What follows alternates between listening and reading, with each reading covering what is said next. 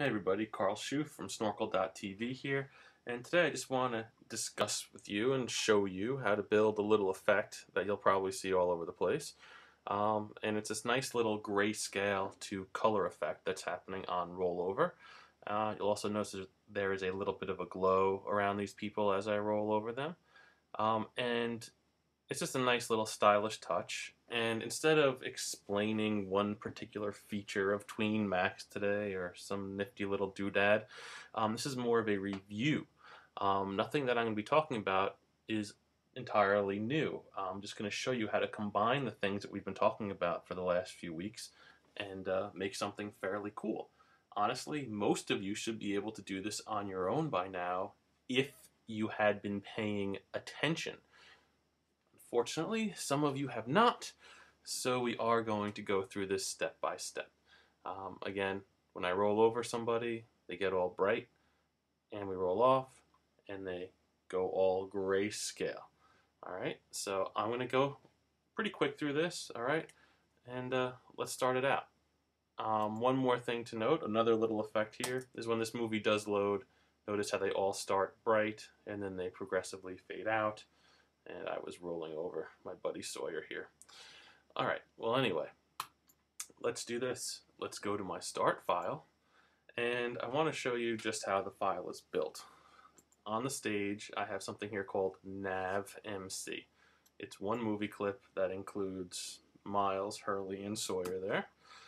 Um, if you don't know those people, you may be a little lost.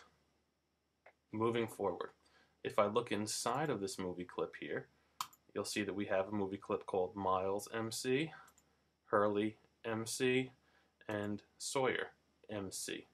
Okay, so these guys are all single framed movie clips. By that, I mean if I just double click on Sawyer here, you'll see that all he is is a broken apart bitmap um, because we want to get that transparency around him.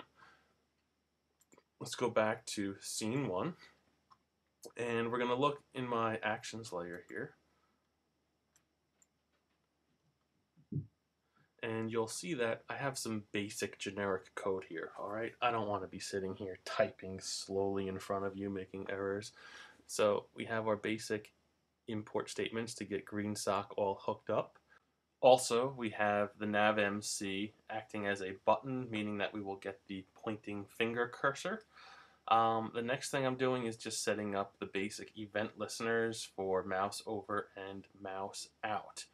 Now we're using mouse over and mouse out because we are going to be using the event's current target property to target each movie clip individually. Um, please watch my video on target versus current target and uh, we'll talk about this a little bit more. Uh, but basically I don't have to tell Hurley and Miles and Sawyer each to have their own unique um, over and out listeners. We can put them all on the nav and then each movie clip can respond individually. All right, so just so you can see this in action, I'm just going to do a quick trace here. And I'm going to say trace E, which is the mouse event that's coming into this function, dot current target dot name. All right, I'm going to test my movie out and let's bring up the output panel Alright, and look what happens when I roll over Sawyer. It says navmc. When I roll over Hurley, it says navmc. Miles, it says navmc. The current target is the movie clip that has the event listener applied to it. Meaning that in my actions, navmc is the guy with the event listener applied to it.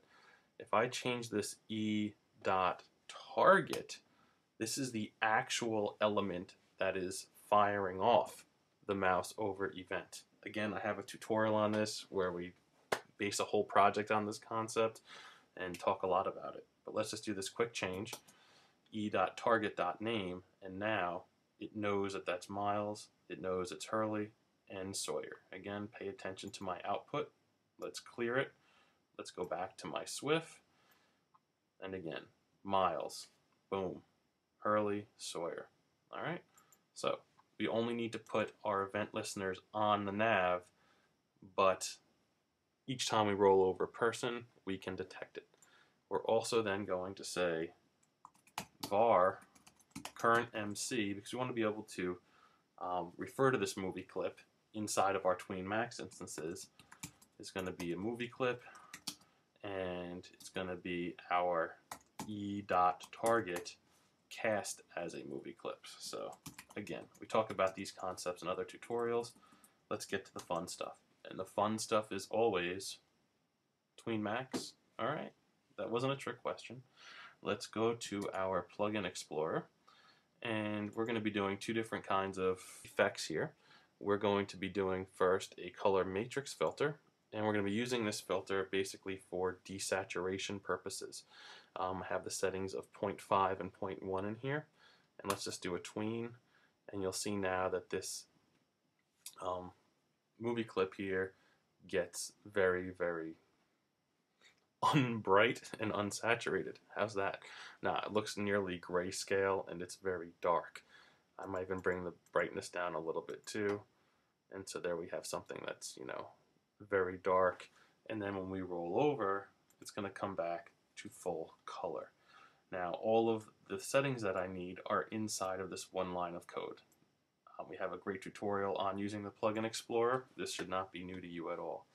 We're also going to be talking about the glow filter, and we're going to be using an example um, with settings like this, yellow with a blur of 10, and just do a quick tween, and that's sort of what we're going for. What's great about the Plugin Explorer is that you can use it just to get sort of um, a base reference sort of of the names of the properties you're going to tweak. And once you get into Flash, you can still change all the values however you like. It just saves you from making any typos with the property names and the syntax. So I've got this stuff all worked out in another file, and I'm just going to uh, do a little copy job of both of the TweenMax codes that I'll need. And so let's just paste right here. And here we're saying we're doing one TweenMax 2 and we're telling current MC, which is whatever movie clip inside of the nav that we just rolled over, to take 0.3 seconds to apply the color matrix filter and we're going to bring the saturation up to 1 and the brightness up to 1. Now we haven't yet desaturated anything, so let's just show you how this would work. Let's just put a zero in here real quick. And you'll see now that when I roll over people, they turn grayscale right away. I know some of you people out there, you're doing this the old way. You're bringing in a colored picture from Photoshop and a black and white picture from Photoshop and you're cross-fading them or you have one in up frame of a button or one in a down frame of a button and you're just making my blood but that's okay that's why we're here. We're here to learn the easy ways. So again, what I just did was made it sort of backwards of what I really want. Roll over and you'll just see that they go grayscale. Cool. And I didn't really do anything all that crazy.